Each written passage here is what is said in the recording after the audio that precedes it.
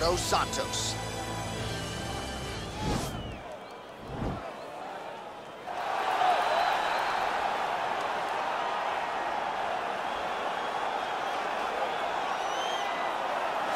All right, so here he is, one of the more prolific takedown artists in the UFC at present. And when you get some praise from Daniel Cormier when it comes to your offensive takedown game, you know you're doing something right. And we talk about wrestlers and judo players and grapplers, but this guy just combines all of that. He is able to use foot sweeps from the grappling game. He is able to use throws from judo, and he's able to use wrestling in the, from the wrestling game to take people down. He has an array of takedowns at his disposal, and he uses every single one of them from the speed of the level change to the timing to the knowledge of where to go next when the guy starts to defend, he's truly, truly something special. I don't think he could take you down, but tonight he doesn't have to. So he does not in this to. matchup, prevailing wisdom is he'll be able to get this fight to the canvas. Well, we probably trot out the term well-rounded in modern-day mixed martial arts more than we should, but this fighter certainly fits the bill. Oh, 110%. He can do everything inside the octagon. Where he is most comfortable is inside of that eight-sided structure where Right. most men are terrified of being.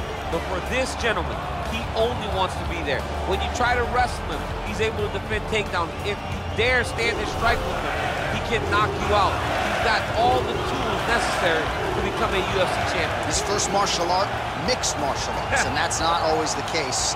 He believes that he should have a lot of advantages in this matchup tonight. Our tale of the tape for this, our main event of the evening. So more than 10 years apart, these two fighters, with the same height and a similar reach. Here's Bruce Buffer. Ladies and gentlemen, this is the main event of the evening. And when the action begins, our referee in charge of the Octagon, Yves Lavigne. And now, this is the moment UFC fans around the world have been waiting for.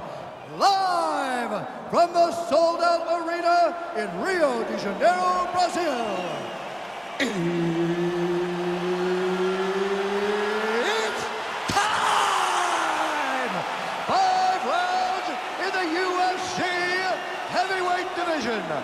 Introducing first, fighting out of the blue corner. This man is a jiu-jitsu fighter holding a professional record of 18 wins, 4 losses, and 1 draw. He stands 5 feet 10 inches tall, weighing in at 155 pounds. Leonardo Santos! And now introducing his opponent, fighting at the red corner. This man is a mixed martial artist, holding a professional record of 14 wins, 4 losses. He stands 5 feet 10 inches tall, weighing in at 145 pounds. Fighting out of Busan, South Korea, the Korean Superboy, Doo Ho Choi.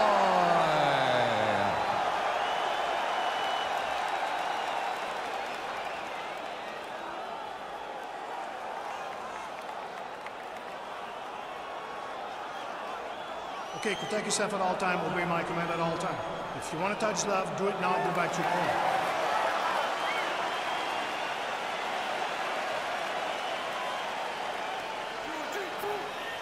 You ready?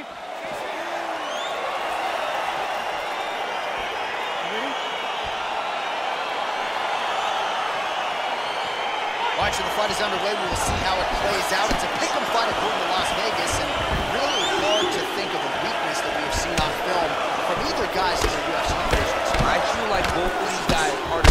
He didn't like that left hand. He needs to start looking to finish now because he's got his opponent hurt very bad. Oh! Oh, nice right hand. Big punch lands through the middle. Just misses there with the left. All right, good job by him there to raise the guard and protect his head. He's doing a good job of keeping the guard high, blocking his head, making sure he's not taking those damaging strikes up top. Well, perhaps a sign of things to come as he lands a kick there. Nice kick landed by the gentleman. Look at him chopping the wood. Chop the wood with those leg kicks. Out of range with that one. Look at the force behind that leg kick. Big body kick land. And both guys really throwing with authority. And just inches away from landing one of those big right hands.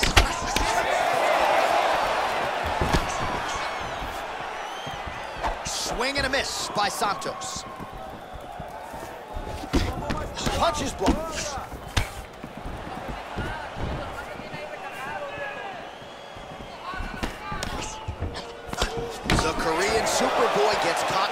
Punch. Don't be afraid to get that head off the center line. Under two minutes to go in the round. Nice stick with the right hand. Hook is there again.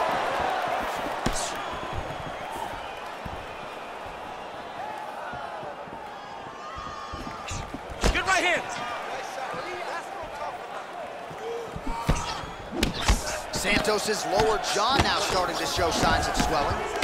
Look at him whip his hip into that kick. Tags him with the straight. Nice job there by the Korean Superboy. Throws a big right hand, but doesn't find its home.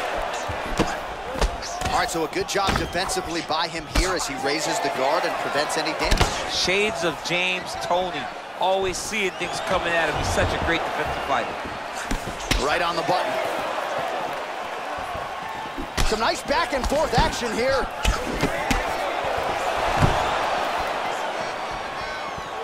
Seconds winding down in the opening round. Nice stick with the right hand. Right, let us look back at some of the action from that previous round. DC punches in bunches. I mean, over and over, he landed that big punch. And every time he landed it, he got the reaction that he was looking for. His opponent really did start to take notice every time he was loading that strike up. You're looking great. You're winning this fight everywhere. This round, I want you to go out there and I want you to take him down and put him on his back. Control the fight on the front. All right, here we go with our next round. His opponent is going to need some Motrin later tonight. How about all those strikes to the head he absorbed in the previous round? He is not moving his head. He's trying to walk forward. He's a pressure fighter, sure, but he's trying to walk forward with no head movement, and he is paying the price for it by getting hit over and over in the face. Oh, big punch eventually you know he's going to turn this defense into offense, but he's certainly doing a nice job on the defensive end. They talk about the feeling out process. He's getting his opponent's timing. Now he's blocking everything. Expect counters as we go forward. Oh! What a fantastic strike to throw at the exact right moment. He deserves this moment. Go finish his fight. That punch no good. Body kick lands right under the elbow. Oh! All right, so he's landed some good shots. You hate to be overly critical, but nothing really in terms of combinations tonight. Well, the jab has been looking great. Oh, he got a little good too. Oh, he is up, but man, is he hurt. A finish could come here at any time. Looked like it did stun a little bit. He's in trouble. He's hurt bad.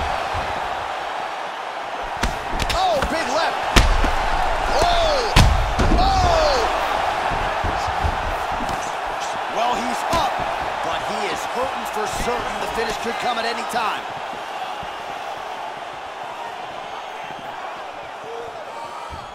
Straight right hand now just misses.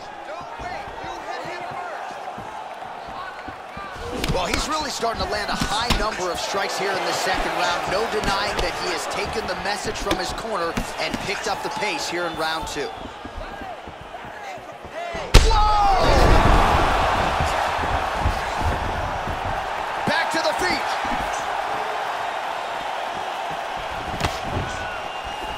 The punch.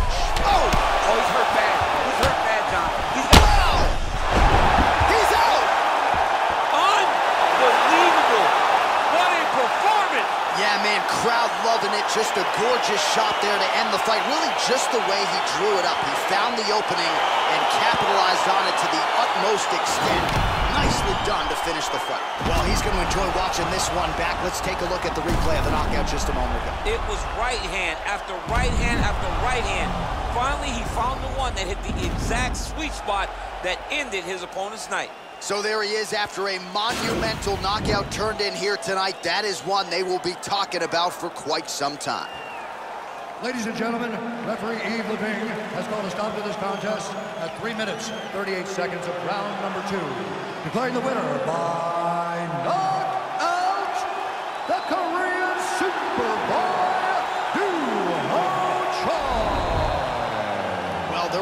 shutting that smile off tonight. The celebration is on as he gets a huge win by knockout tonight. I got to think there are a few better feelings in the world than walking into an octagon and candidly knocking another man out. Yeah, you shut a person's lights off, man. There's nothing.